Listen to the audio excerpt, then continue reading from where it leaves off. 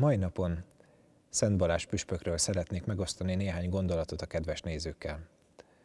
Szent Balázs püspök egyházunknak egy igencsak ismert szentje. Hogyha az utca emberét kérdezzük, valószínűleg mindenki tud róla egy-két gondolatot mondani, vagy legalább annyit, hogy egy áldás kapcsolódik a nevéhez. De ki is volt ez a Szent Balázs? A korai századoknak az egyik szentje ő. 300-as évek elején halt vértanú halált. Viszonylag kevés adatunk van róla, kevés konkrét dolgot tudunk az ő életéről. De azt mégis, hogy örmény származású volt, és Szebaszte városának püspökévé választották. Balázs egészen különleges életet élt, nem a megszokott püspöki életmódot választotta, hanem a legenda és a hagyomány szerint kiköltözött a városon kívülre, egy félreeső barlangba, és ott élt kvázi remete életet. Onnan irányította a rábízott közösséget, a tanácsaival, a jóságával, a szeretetével, gyógyította és segítette a rábízottakat.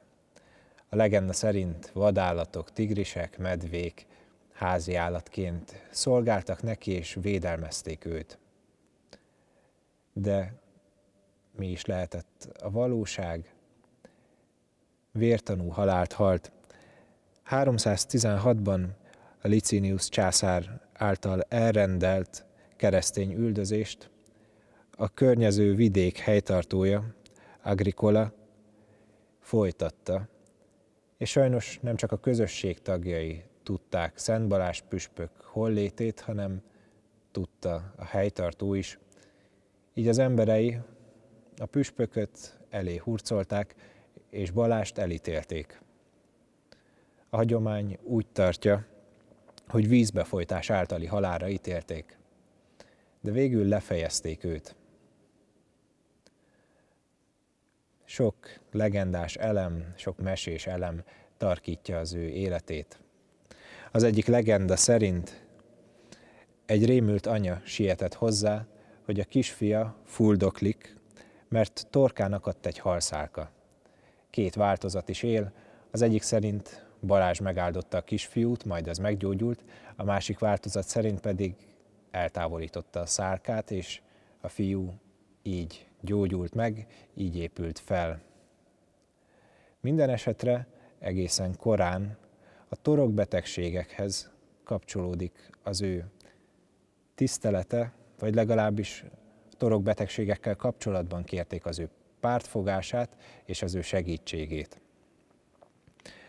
Nem tudjuk biztosan, hogy mikor is kezdték el tisztelni őt, de valamikor a hatodik században a keleti egyházban már fellelhető Szent Balázs tisztelete, és később nyugaton, a 9. században már úgy emlegetik őt, mint azt a szentet, aki képes segíteni a torokbajban szenvedőkön, képes segíteni a betegeken.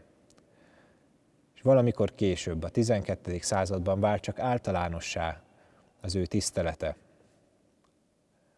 A Balázs áldást, amit mi olyan jól ismerünk, és amiért évről évre sorban állunk a templomban, az csak jóval később, valamikor a 15-16. században alakult ki, akkor jegyezték le.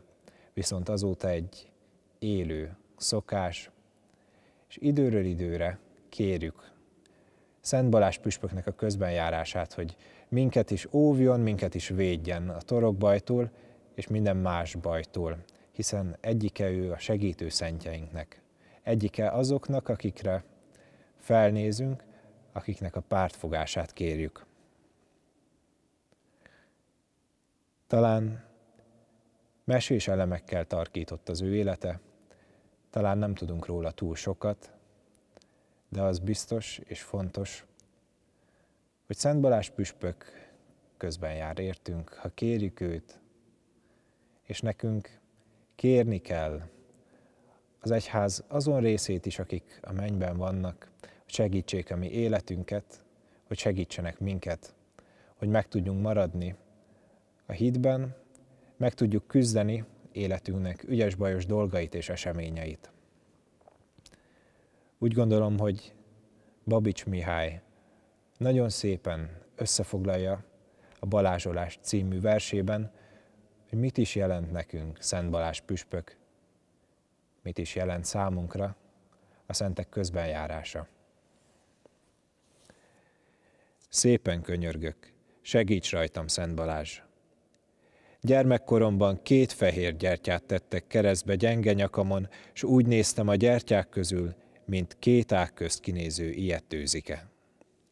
Tél közepén, Balázs napon, szemem pislogva csüggött az öreg papon, aki hozzád imádkozott, fölém hajolva, ahogy ott térdeltem az oltár előtt, kegyes szokás szerint, s diákul dünnyögve, amit sem én, s ő se jól értett. De azért te meghallgattad, és megóvtad gyermeki életem a folytogató torokgyíktól, s a veszedelmes mandulák lobjaitól, hogy fölnővén fél száz évet megérjek, háladatlanul nem is gondolva te reád. Ó, ne bánd csúf gondatlanságom, védj ma is, segíts Szebaszta püspöke.